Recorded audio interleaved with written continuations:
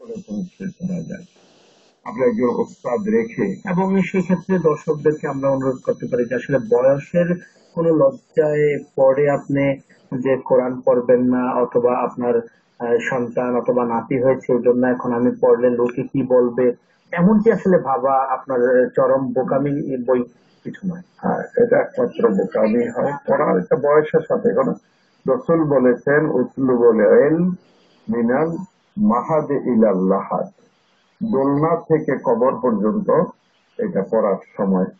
তো বয়স হয়ে যে শেখা যায় না, বয়স হয়ে যে পড়া যায় না, এটা কিন্তু একটা ভুল ধারণা। যে কোনো বয়সে, যে কোনো সময়ে আমরা জ্ঞান অর্জনের জন্য আমরা পড়তে পারি। যিনি জানেন, তার কাছে আমরা শিখতে পারি। বলা হয়েছে যে না জানে সে যেন যে জানে তার কাছ থেকে শিখতে চেষ্টা করে। আমাদের মা বোনদেরকে অনুষ্ঠানের মাধ্যমে কি লেসন দিতে পারি? বলা হয়েছে যে যে মা শিক্ষিত তার সন্তানরা শিক্ষিত হবে উত্তম মা। এই জন্য মেয়েদেরকে লেখাপড়া জানতে হবে বিশেষ করে যে ইসলামী শিক্ষা একজন হালাল হারাম হালাল হারাম, পবিত্রতা। আদর্শ মা হওয়ার জন্য আদর্শ স্ত্রী হওয়ার জন্য।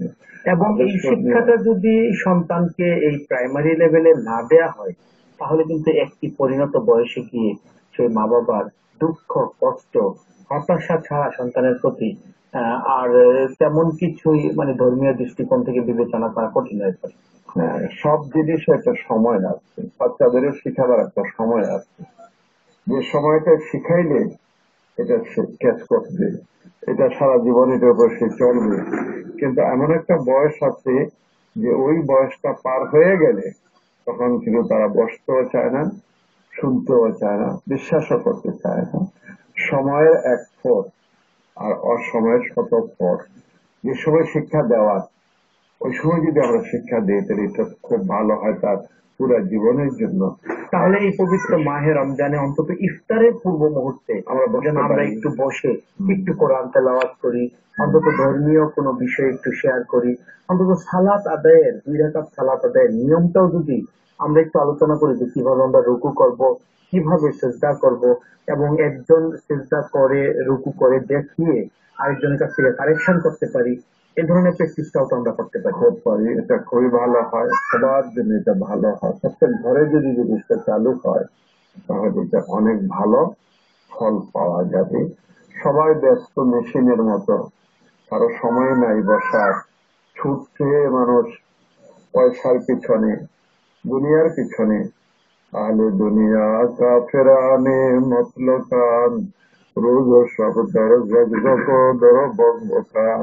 মানুষ দুনিয়াদার হয়ে গেছে। দিনদার না হয়ে দুনিয়াদার হয়ে গেছে। সময় নেই কারও। এটার দ্বারা কিন্তু বিরাট ক্ষতি হচ্ছে পুরা নেশনের, পুরা জাতির। আমাদের এই মুসলিম জাতির যারা ভবিষ্যৎ জেনারেশন আমাদের যে ছোট ছোট বাচ্চারা। বিশেষ করে তাদেরকে এই কোরআনের শিক্ষায় যেন আমরা শিক্ষিত করি, এটি আমরা বিশেষভাবে অনুরোধ করছি। আমরা ছোট্ট একটি বিরতিতে যাচ্ছি।